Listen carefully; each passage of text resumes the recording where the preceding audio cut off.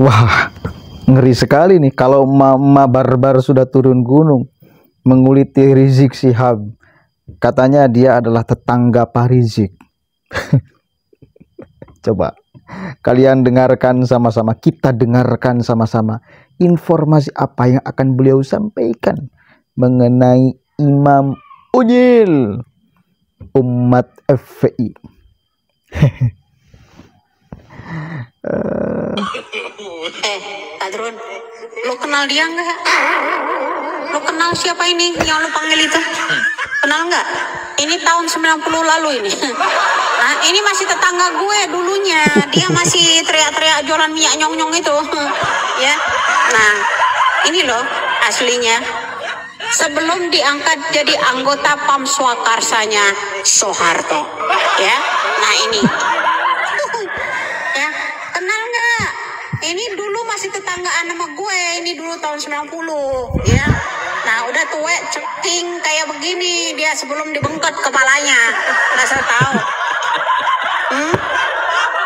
Ya gampang kalau sekarang ini beda kalau zaman dulu penyiar-penyiar agama Islam dulu-dulunya ada yang namanya Muhammad Macenghi, ada Bun Sueho, ada yang namanya Tan Kindang, ada yang namanya Bonang. Itu dulu melahirkan sunan-sunan. Kalau sekarang preman Tanjung Priok dihabiskan, ya kan tukang minyak wangi diulamakan, ketua teroris dihabibkan, diulamakan.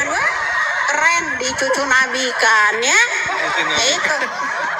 Keren. Ini sebelum diangkat cucu nabi ini sebelum diangkat ustad ini pertama ini ini tahun 90 91 loh ya. Ini masih tetanggaan gue kalau mau tahu. Ya oh iya. Mirip siapa ya? Mirip penyanyi siapa ya kayak mirip-mirip penyanyi resah dan gelisah. Siapa sih namanya itu? Obi Mesah. Kualat nih Mama nih. Mesah ya kan? Betul nggak? Cuman dia keriting. Obi Mesah nggak begitu kalau kayaknya sih. Nah ini. Nah ini masih imut. Sebelum dia teriak-teriak ini dulu bro. Masih imut mulutnya masih tipis. Masih bibirnya tuh masih tipis setipis koreng kulit koreng Astagfirullah. Tuh, ya lo tahu, ini masih imut, bibirnya masih tipis seperti kulit martabak. lo ya, lo harus tahu ini mas tetanggaan sama gue, ya. Ini dulu karena di Petamburan itu dulu gang sempit rumahnya ini dulu. Nah di ujung sono ada masjid, ya. Nah ini kenapa gue itu kenal banget? Ini sebelum diangkat jadi Pam Sokarsa. Nah setelah dia jadi Pam Sokarsa, yang ulama-ulama lah bareng-bareng sama Tengku Zul. Satu perguruan. ya. Nah Tengku Zul udah koin nih sekarang. Tinggal dia yang belum ya. Di kantor harus tahu, harus kenal. Ini junjungan lo. Sekarang kalau dia mau diaku cucu Nabi yang ke-38, kita kalkulasi. Rasulullah sekarang udah 16 abad. Ya, artinya 1600 tahun. Bagi 38. Masa dia umurnya masih 430 tahun? Setara penjajahan Belanda, bro. Ya Allah, kurang lebih umurnya sekarang ini berkisaran antara 65 tahun. Ya, belum tuek-tuek banget. Masa cucu Nabi yang ke-38 sekarang kita yang namanya Rasulullah itu 1600 tahun artinya 16 abad. Dibagi 38 kalau dibagi 38 lagi 38 lagi lebih kecil lagi. 38 kali 1000 dibaginya. Baru dikurang. Lebih kecil lagi umurnya. Ya baru 49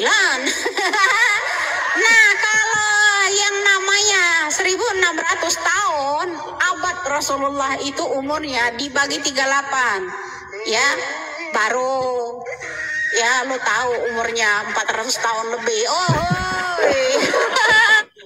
iring waktu Udah, cukup ah. Gak kuat saya mendengarkannya. Kasihan para muhibin muhibin. Cie, kasihan.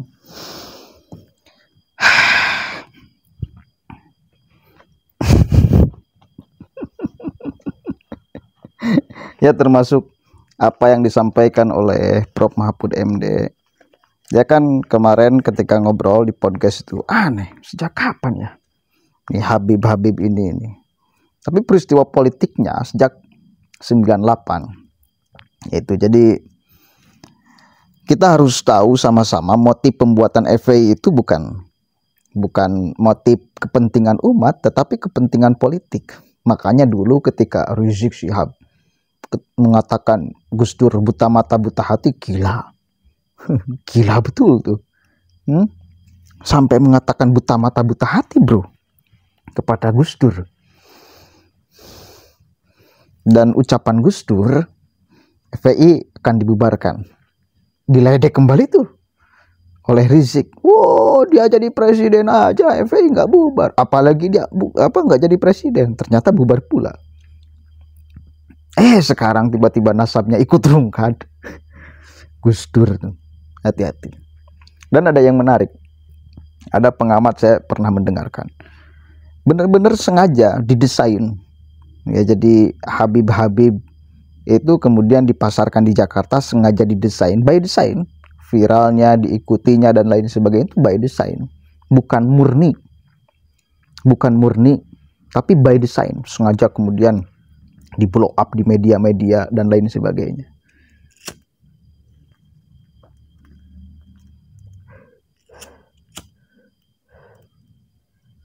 Karena yang asli misal Wali Songo ya, Wali Songo punya keturunan kan banyak, jelas kan, uh, Nabi kan, tapi enggak diglorifikasi seluar biasa gitu loh. Artinya keturunan Wali Songo itu menyatu dengan pribumi tidak lantas masih membawa-bawa uh, kota kelahirannya atau kota nenek moyangnya. Enggak. Coba, coba lihat keturunan-keturunan Wali Songo. Tapi lihat Habib-Habib budaya mereka budaya Yaman masih dibawa ke sini. Tarian-tarian Yaman masih dibawa ke sini. Yang diunggulkan selalu tarim tarim tarim. Katanya berdoa di WC saja kalau ditarim itu saking makbulnya itu akan diterima. Berdoa di WC, Bos. Di WC. Gila.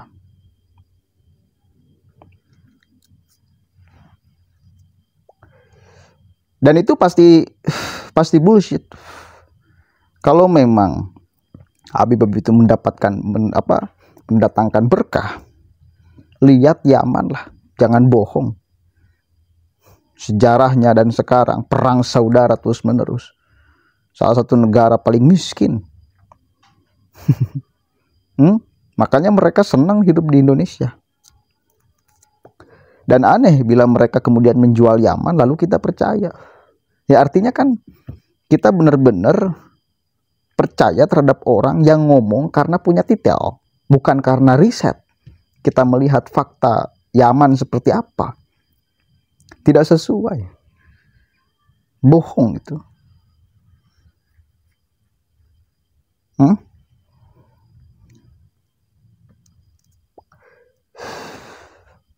anak buah Soeharto.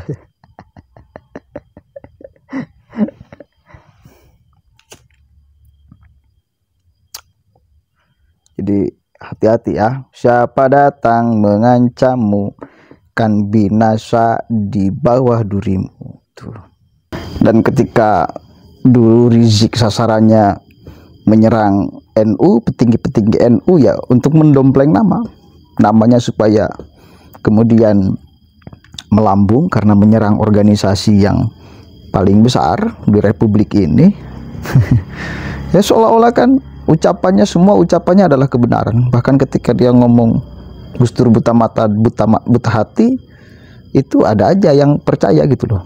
Padahal jelas itu itu adalah strategi untuk membesarkan nama itu melawan orang besar.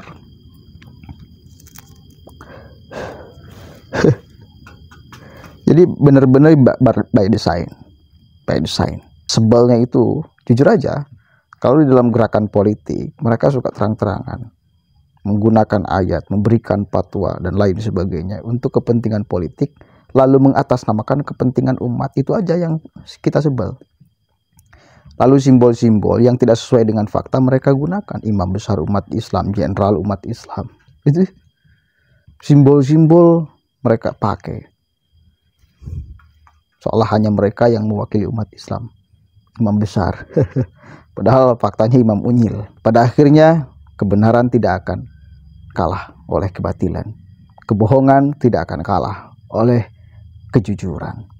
Ya, kepalsuan tidak akan menang melawan keaslian. Assalamualaikum warahmatullahi wabarakatuh.